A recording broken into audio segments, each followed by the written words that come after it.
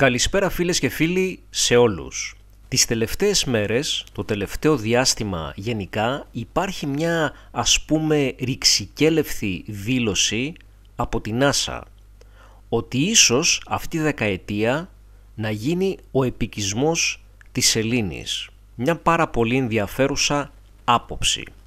Οι άνθρωποι μας λένε χαρακτηριστικά ότι θα μπορούσαν να μείνουν στη σελήνη για μεγάλες περιόδους κατά τη διάρκεια αυτής της δεκαετίας. Δήλωσε χαρακτηριστικά ο αξιωματούχος της NASA στο BBC και επισήμανε ότι θα χρειαστούν κατοικίες για υποστήριξη επιστημονικών αποστολών.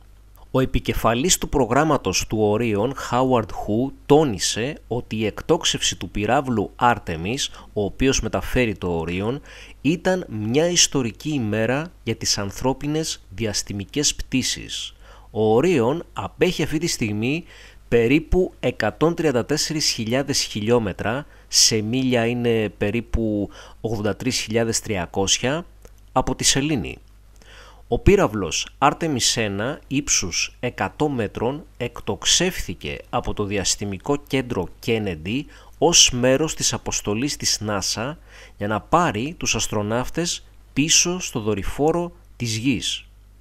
Ο Χου επισήμανε ότι η παρακολούθηση της απογείωσης του Άρτεμις ήταν ένα απίστευτο συνέστημα και ένα όνειρο. Εξήγησε επίσης ότι αν η τρέχουσα πτήση του Άρτεμις ήταν επιτυχής, τότε η επόμενη θα γίνει με πλήρωμα και θα ακολουθήσει και μία τρίτη, όπου αστροναύτες θα προσγειωθούν ξανά στη Σελήνη για πρώτη φορά μετά το Απόλλω 17 πριν από 50 χρόνια, το Δεκέμβριο του 1972.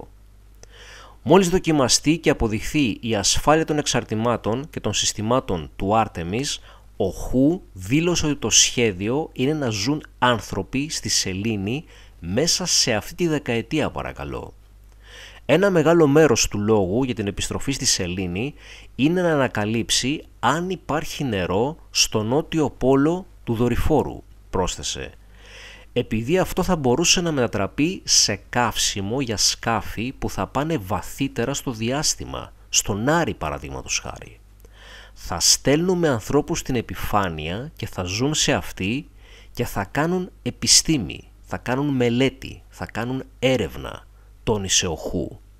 Θα είναι πραγματικά πολύ σημαντικό για εμάς να μάθουμε λίγο πέρα από την τροχιά της γης και στη συνέχεια να κάνουμε ένα μεγάλο βήμα όταν πάμε στον Άρη.